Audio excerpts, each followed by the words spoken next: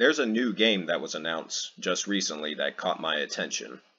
And that doesn't happen too often these days. But um, we have Retrieval here, which sounds very similar, the name anyway, to Returnal. Of course, this has nothing to do with Returnal or that studio that made that game, Housemarque.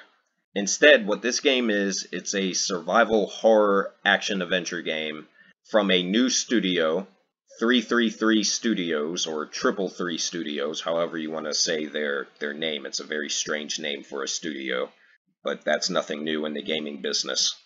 And the interesting thing about Retrieval here is that it looks oddly similar to another survival horror game that came out not too long ago, another sci-fi survival horror game that did not meet expectations and underperformed in both reviews and sales helmed by Dead Space creator Glenn Schofield. And of course, the game I'm referring to is the Callisto Protocol.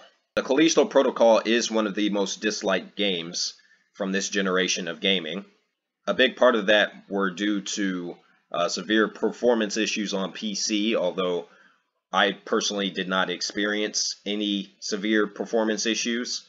Maybe it's because I upgraded my drivers before I started playing the game which I, I assume most PC players don't do, but that's just me. Another reason is because the, the story for the game was disappointing, and it did not live up to expectation. But another reason why the Callisto Protocol didn't take off with um, audiences is because the combat system didn't catch on with a lot of players. The combat system in the Callisto Protocol placed a, a heavy emphasis on melee combat and really downplayed um, combat with ballistic weaponry, which is very strange for a survival horror game. Now, it's because of that emphasis on melee combat that I personally appreciated the game more than most other people. As far as I'm concerned, Callisto Protocol is an okay game. It's not a bad game. It certainly had issues, but I don't think it deserved the uh, the low scores that it got. But still, nonetheless, I must acknowledge that the game did not meet expectations and it wasn't popular. So we have Retrieval here, which is set within the same genre as Callisto Protocol, that has a sci-fi theme like Callisto Protocol, and it seems like another studio is trying to do something like this again, but successfully this time unlike the studio that made the Callisto Protocol, which is Striking Distance Studios. So if I go on the Steam page for Retrieval, the description for this game reads, Join Hannah Losh on a perilous journey into darkness, uncovering secrets and facing its deep drama story full of terrifying challenges on the distant planet uh. And we get more details below dive into a deep narrative filled with unexpected twists, exploring themes of friendship, love, loyalty, and horror. Assume the role of Hannah Losh, commander of a research team on the distant planet Ryhalion. Accidentally stranded in a mysterious retrofuturistic subway base, Hannah uncovers the chilling secrets within. Navigate through a ravaged world where survival is paramount, encountering relentless challenges and terrifying adversaries at every turn. Experience gripping gameplay, immersive storytelling, and rich character development as you unravel the mysteries of retrieval. With atmospheric and amazing visuals powered by NVIDIA and haunting sound design, immerse yourself in the chilling atmosphere of this captivating adventure. And a uh, release date and release year has not been announced. Now, I've added this game to my wish list here on Steam because I'm just going to keep an eye out on it they have not shown any gameplay for this game. But I do want to note something about the survival horror genre, which is arguably my favorite genre in gaming. Survival horror games are some of the best, some of the most well-made games in the industry um, due to their meticulous attention to detail and uh, what they require of the player in terms of skill, in terms of attention to what's going on on screen, to things like item management and level design. Survival horror games are some of the best games that you can play out of any genre that exists in the gaming space.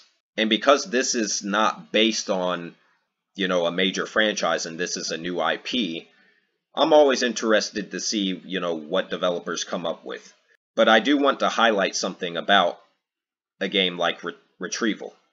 And I believe this is also part of the problem that Callisto Protocol ran into. Survival horror games, as good as they are, they typically are attached to big name IP, whether it's Resident Evil, uh, the Alien franchise, Silent Hill. Um, they have a uh, survival horror game coming out in October, late October, uh, with, with the first person game um, based on the A Quiet Place franchise.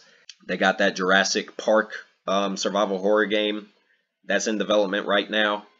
Just using some of those as examples. The one outlier in the industry would be Dead Space.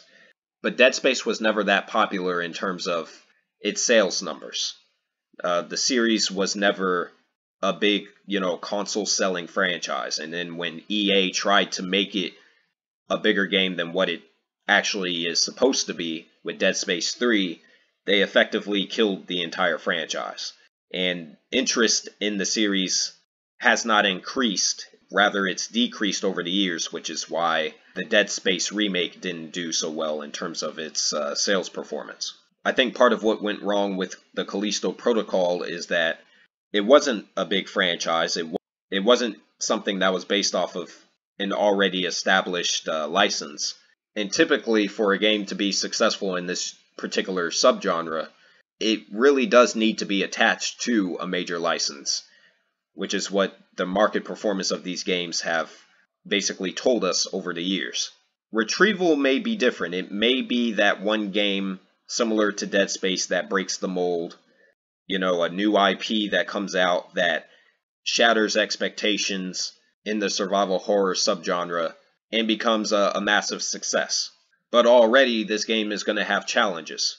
People are already comparing this game to the Callisto Protocol, and other survival horror games, but particularly the Callisto Protocol, as I also did myself. Um, people are already starting to ask questions about what the gameplay is going to be like, and uh, when you make a survival horror game, the comparisons between your game and Resident Evil is just unavoidable, especially if your game is a third-person perspective survival horror game the comparisons with Resident Evil um, is just something that developers are going to have to put up with because without Resident Evil, there would be no survival horror. Survival horror is Resident Evil. They're going to have to find a way to avoid the trapping of the game being compared too much to Resident Evil.